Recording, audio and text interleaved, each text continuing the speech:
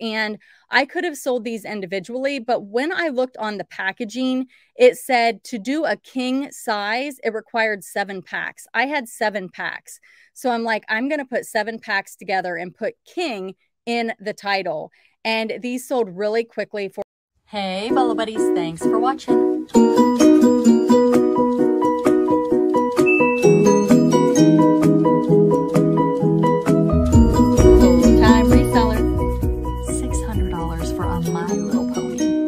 Amazing, right? All right, let's get started. Hey, Bolo Buddies, thanks for watching. All right, in this video, I'm going to talk to you about 22 Bolo items, items to be on the lookout for, items that I bought low and sold for big money. I'm going to tell you where I got it, what I paid for it, and what it sold for. Now, I also have a whole series that I do on my bread and butter bolos. I like those too, but these are my big money. So let's get started. All right, so the first item I sold is this vintage Mopkins full body puppet, pink fur, sunglasses, hat. This guy is fantastic. Picked him up at a garage sale for $5 and sold him for a best offer of $48.88 plus shipping. I will say that I source cheap. So as you're going to see throughout this video, I pick items up really, really cheap. So let me know in the comments, how do you source? Do you spend a lot of money on your items or do you feel like you source cheap? All right, the next item I sold is a huge lot of boys, mini and action figures, vehicles, cars, accessories, and toys. I just call this a toy box. These are items that I was listing and I kind of got lazy. I love parting stuff out like this. I did not look up every single item. I just threw these in a bundle. Now, could this be a reseller lot? Quite possibly. Am I selling it as a reseller lot? No, I'm just selling it as a toy box. So a parent may want to grab one of these for their kids, just be like, here you go. And then their kid opens it and they just have fun for what? A day, two days, three days, who knows how long. They might not like anything, they might love something, who knows. But it's just kind of like when we buy mystery boxes, it's super fun. So it's like a mystery box for a child. Um, now, could a reseller buy it and potentially make some money? Absolutely. It depends. You have to look at the pictures and see if there's anything like use Google Lens, look things up. I don't know. I just at sometimes I get to the point where I'm like, I just can't do it, and I'll create a toy box.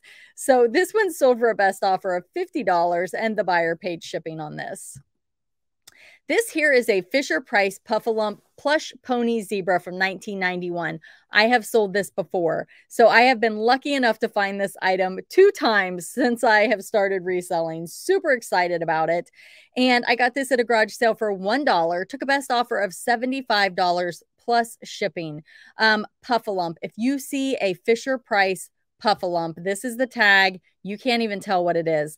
Um, I know that it's a Puffalump because I've sold it before but um the tag is toast on this because it's just been it's been played with. It's a pre-owned item. So definitely be on the lookout for any puffalump items. This zebra horse whatever it is goes for a little more money. So uh, definitely look for that one.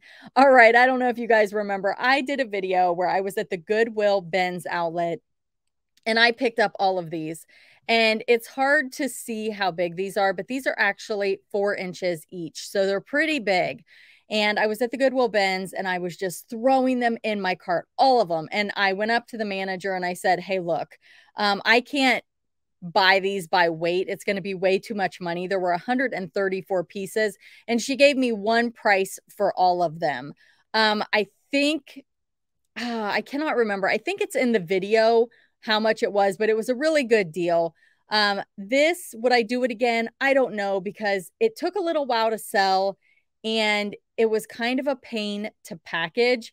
And when I was listing them, I was outside and it actually started raining. so I had to wipe them down and it, it just ended up being more work than I expected, but I did make a great profit.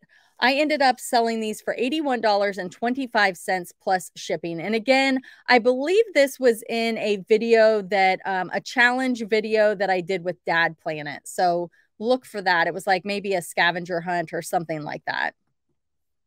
This one here is a Barbie Snow White and the Seven Dwarfs. It's a signature collection item. I picked this up in a mystery box from Auctions for You. It was a toy box. And I can't remember if it was a $100 box or a $150 box, but I do have the unboxing on this channel that will give you all of that information and show you all of the items that I got in that box. Auctions for You is a YouTube channel that sells inventory to resellers. Definitely check her out. Uh, Donatella Bottolino is also a YouTube channel that I buy from. You guys, if you've been here a while, you hear me talk about them all the time because I buy from them and you hear about them in my What Solds. So definitely a great place to source. I will link them down below. I ended up selling this for $39 plus shipping.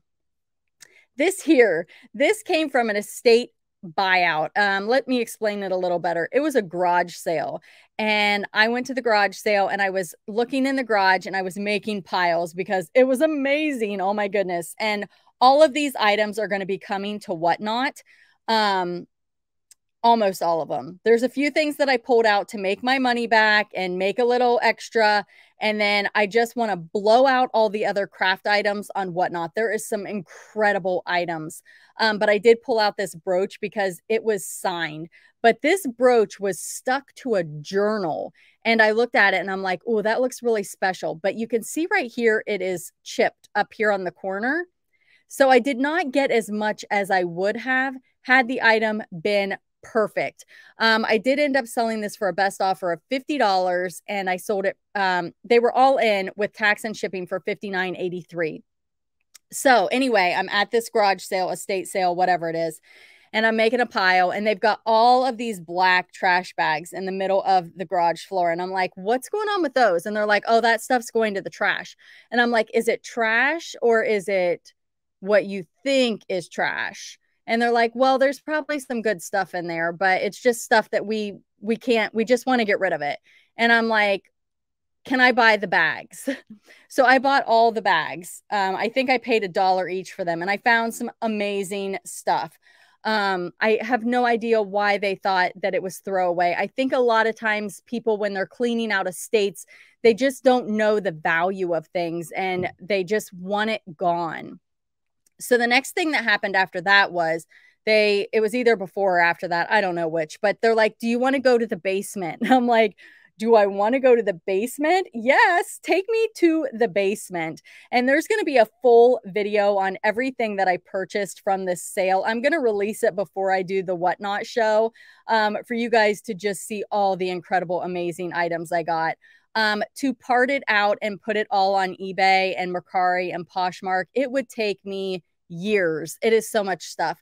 So I'm going to do bundles probably and small lots over on Whatnot. If you guys are not following me on Whatnot, uh, there is a link down below. It is a referral link. You will get $15 to shop if you join with that link. If you don't join with that link, if you're already joined, you can still click on it and it will take you over to Bolo Buddies and you can follow me or you can just look me up on Whatnot with Bolo Buddies. If you want to sell on Whatnot, I will tell you I've done five, six shows now and I absolutely love it. The one thing that caught me off guard is how much time it takes from start to finish to complete the task. Um, it's a lot of shipping and it's a lot of prep. And then you're on four or five times you know, when you're live.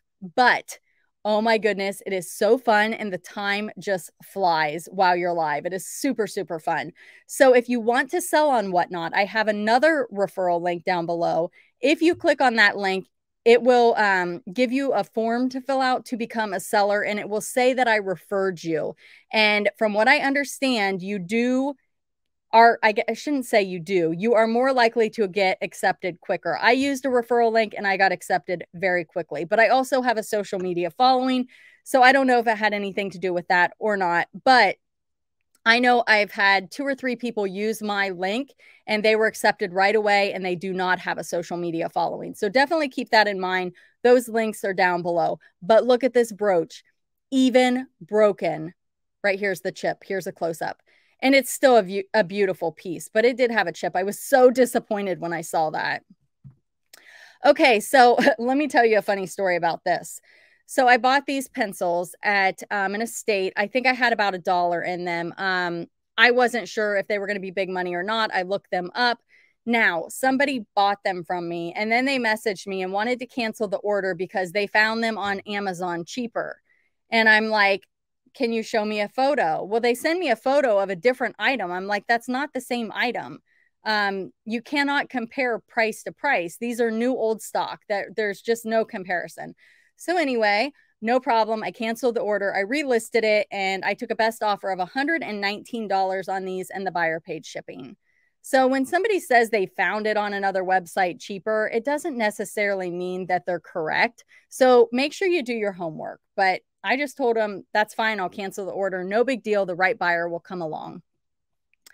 This also came from an estate cleanout. They are Lancaster stamped quilt blocks. And I could have sold these individually, but when I looked on the packaging, it said to do a king size, it required seven packs. I had seven packs. So I'm like, I'm going to put seven packs together and put king in the title. And these sold really quickly for $115 plus shipping. The next item, it came from that same estate. At this estate, I got tons and tons of crafters items. Basically, I loaded my car.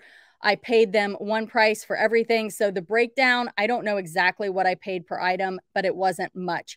This is a different estate sale from the uh, crafters estate sale. So uh, this is a Bucilla Jiffy cross stitch quilt, Yorktown double size. I don't know what it is, but look how old it is. And it is super, super cool. I ended up selling this for a best offer of $70 plus shipping. The next item is this souvenir cheese head. And this is for the Green Bay Packers. It's from 1996. And I sold this for $40. Um, I did do local pickup on this. Somebody um, reached out to me and said that they needed it for like the next day or whatever. So I met them at a public place and they bought this and I paid 50 cents for this at a garage sale. These right here are so cute. And I had no idea that they were going to do so well when I picked them up. I got them at a garage sale for 50 cents. They were 25 cents each. They say Inky Dinkies and they are so cute. They're Eastern I'm sorry, North American Bear Company, and they're great for Easter. And, and I called them twins, which is a tip that I got from Donatella Bottolino. Um, she said, put twins in the title. So that's what I did. So 50 cents investment, sold these for $50 plus shipping. And let me tell you, they are just, they're itty bitty. They're teeny. And I can't believe I don't have a tape measure, but you can see them in my hand right here. They are tiny. Here's another Puffalump. This one's from 1993. It's a lion. I got this at a garage sale for $1. Took a best offer of $50 plus shipping. Here is the tag. You can see this one a little better. It says Fisher Price um, Puffalump right there. It is written on the tag.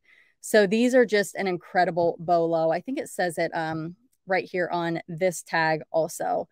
So $50 on that one. Buyer paid shipping. This next item was actually a pickup from my husband. I had told him that I was doing well with folk art Santas, and he brought this guy home.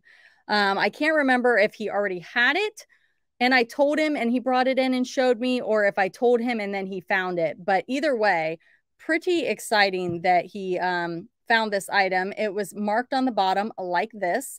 And he sold this for $65 plus shipping. I'm not sure what he paid for it. He goes to a lot of estate sales and flea markets. So, um, but I'm guessing he didn't pay much, maybe five bucks. Mighty Beans Slammer Time Racetrack, two exclusive beans inside, and it is an open box. So it is new open box.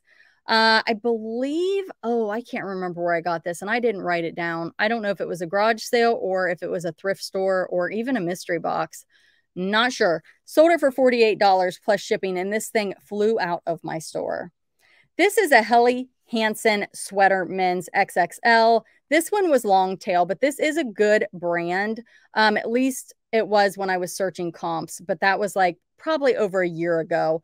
So, um, sold this one for $38.99 plus shipping.